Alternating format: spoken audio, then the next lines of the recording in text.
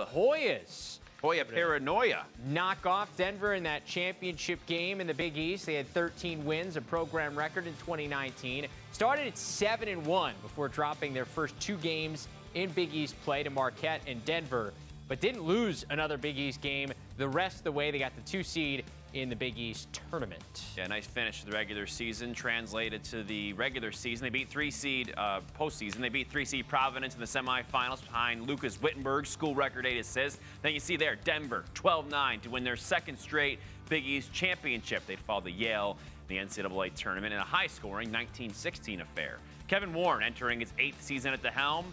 These his best back-to-back -back stretch since arriving on campus. We bring in Coach now, and Coach, uh, I'm going to start by asking, how do you sort of take that next step? Obviously, you've had a good string, a couple years here with those back-to-back -back championships. What do you do now to sort of elevate the program even more? Oh, great question. Uh, I guess we'll figure that out when we start practice today. But I think um, continue to learn on what we need to do to be successful. Um, we've had a lot of great leadership the last two years, and it's it's this year's group uh, it's their opportunity as seniors and certainly as a team to figure out what we do best, what we do well, uh, what we'll do different to make us successful. Um, and I guess that's part of the preseason. Um, but at the same time, he, this team needs to have its own identity, and uh, we'll figure out what that is over the next couple weeks before we get into our first scrimmage, and and hopefully we'll just take those lessons that we had uh, for the past two years and and and maybe adjust them a little bit, but uh, kind of stay to the stay to the core things that made us successful, and then we'll go from there. Yeah, you've had some good uh, classes, obviously, over the course of your career there. Um, but you lose, you know, guys like Bucaro and Wittenberg, uh, who were, were, so impactful for you, especially the legacy they left. You thinking about how important that is moving forward in your program to have guys like that sort of leaving it better than they found it, especially those last two seasons. Yeah, no question about it. I think it's a uh, a goal for every senior class now to go. Hey, we want to do, have a you know have more success in whatever that may be um, than the prior class. Now it now it's uh, the onus is on them to continue what we would like to do as a program. Certainly part of the vision I had when I came here way back when, um, and and I think that's a good thing. And and the guys have to be up for the challenge um, and figure out what this team does well um, in order for us to get where we want to get to. Yeah, you mentioned when you started, I think it was uh, now you're entering your eighth season. From then to now, I guess, you mentioned the vision. Has that changed at all? How has that sort of come to fruition now that you're almost a decade in? Yeah, it's uh, it's actually amazing. It feels like 80 years, not just eight. but uh, um, at, the same time, you know, you, you want to be part of the conversation. You you want to you want to have sustained success, and I know that's that's tough to have, especially in divisional lacrosse. And our, landscape has changed so much in the past couple of years. Um, but you you have to do things a certain way, and I think we found um, the, the, the the type of guys that uh, come here understand what needs to be done, um, and we're starting to get a, um, a continuum of those types of guys that have those traits that are going to allow us, hopefully, to have success, or at least put us in position to um, game in and game out. Uh, Jake Carraway returns for you guys. I think 88 points last year. Um, what does what have you seen from him now here in the fall, and now as you get practice started now here in the spring that you want to see from him to sort of elevate his game even more?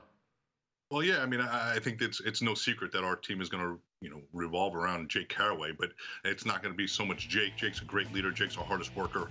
Um, Jake plays with a lot of passion.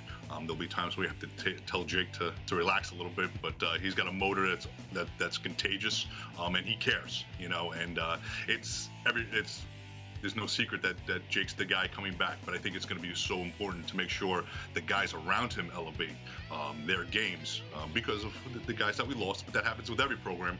But when you have a, a central figurehead, so to speak, like Jake, it's can the guys around him um, elevate their game um, and, and make our offense or make our team successful. What kind of vibe did you get from the team in the fall? What was sort of the mood, I guess, you know, sort of motivating you guys for here for the spring?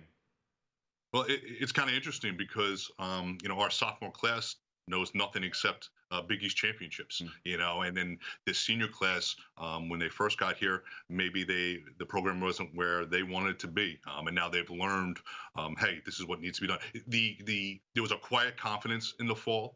Um, I think that's uh, the go, hey, We know it needs to be done. We've seen two ways, um, or two different avenues, so to speak, to say, hey, we've had success this way or that way. Um, what is this group going to do? And I think it's a learning uh, process uh, for every team that goes through uh, a season is, is, is figuring out how will we lead as seniors, how will we lead as upperclassmen, um, and, and, you got to take the good and bad that you've learned and uh, and try and make it a positive to to take that next step um, to to have opportunities to have success. You think about um, people that have been there, and then also the newcomers. that we had Graham Bundy on as part of the U19 team uh, this past weekend in the spring premiere. I think he scored a goal too. Um, right. a, a, guy like that who's you know on the, the Team USA stage too. What impact do you think it could have for that team, and how does that help your team? Team too? Uh, you know, it, it's just for him. He can bring some lessons or some things that he learned from um, a different coaching staff or the way they do things. Um, he's a prideful kid, so uh, and he's competitive as all heck. So uh, he had no problem speaking up in the fall, and, and he's a guy we're gonna certainly look forward to uh, helping us over the next uh, next next couple years here. Um, but but learning from those experiences and just bring him here and, and finding which piece fits uh, the puzzle, so to speak, is, is, very important. And he's from Missouri too. You see that a little bit on that U19 team, guys from a lot of different places in the country. But kind of interesting for you guys too to you know recruit a guy from Missouri that talented, right? Yeah, and I think for us, we're we're a national school, and uh, I think we, we, we try and find the best players. But we try to find the best players, but find the best fits. And I think when you look at the intangibles that Graham has, um, or any of our guys have, there seems to be a, a consistency uh, throughout those traits. And I think that's one of the reasons, again, why we've had some success because uh, we had a lot lot of like-minded guys uh, in the locker room, uh, holding each other accountable on the field, doing all the things we need to do. Um, and I, I think that's why we're we're kind of where we are. Like you said, coach, it's day one for you guys of practice and everything like that. You ready to go?